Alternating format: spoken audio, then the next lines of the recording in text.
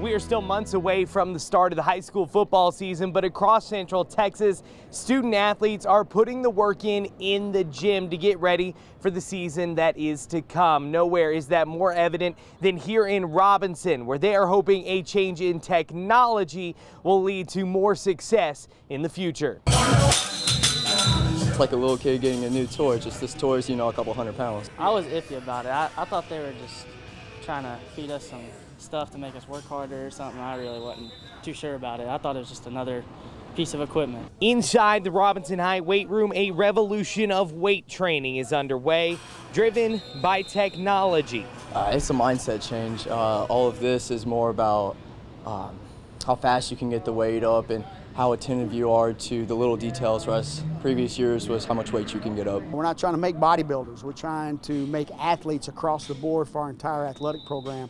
And um, I think we're going to see some results here in the, in the near future. The tech, a sensor placed on the bars in the weight room which calculate the lifter's speed and technique. Coaches are pushing players to lift the bar at a rate quicker than half a meter per second. The results right in front of their eyes. I push harder and all that because usually before that you think you're going fast, but then back then if we would put them on there, we wouldn't have been going fast. Competition factor is huge because they know they're trying to hit that number. And when it's right there in front of you, it's not somebody going, yeah, I think that was a pretty good explosion. No, it tells you exactly what it was. Technology won't lie, they'll give you the real numbers.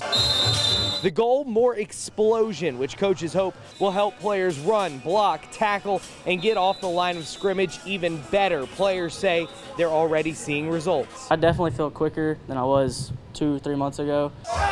Beyond the competitive advantage, the new technology also traces technique. Coaches hope it will help reduce the risk of injury. So you can tell if you're if you're you have a good you know squat when you go up and down or if you have a good bench if the bar is moving in the right direction and in the future they hope the tech can be an educational tool as well we're going to let our physics class dive in and go hey this is this is how you can improve this number this is what this kid's doing and and this is how you can make this better. Rubel says it may be another year or two before they really see the effects play out on the field. High school football starts in Central Texas in just three and a half months. Reporting in Robinson, Jack Allen, 25 Sports.